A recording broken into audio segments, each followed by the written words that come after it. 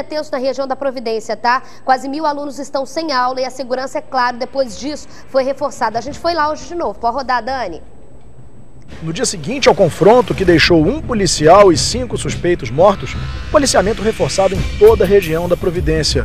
Policiais do BOP realizaram uma operação em busca de traficantes, mas até o momento ninguém foi preso.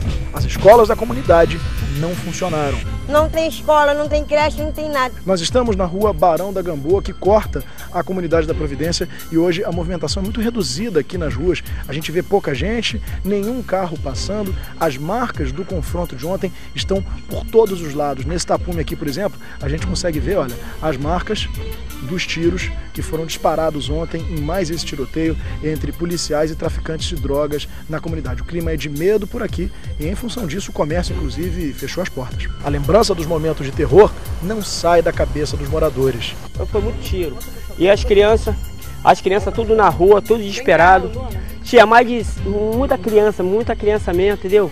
O tiro chegou a pegar no meu comércio, furou a parede. No Instituto Médico Legal, familiares dos suspeitos mortos dividiam o mesmo espaço com a família do policial militar André Luiz Nonato, assassinado numa emboscada feita por bandidos. O corpo do sargento André Luiz Nonato permanece aqui no Instituto Médico Legal e o enterro deve ser realizado às duas horas da tarde no cemitério de Xerém. Ele tinha 40 anos de idade e estava há 15 na Polícia Militar. O sargento estava, inclusive, terminando a faculdade de engenharia porque queria seguir outra carreira e largar a Polícia Militar. Ele era casado, deixa a esposa e uma filha de apenas 5 anos de idade.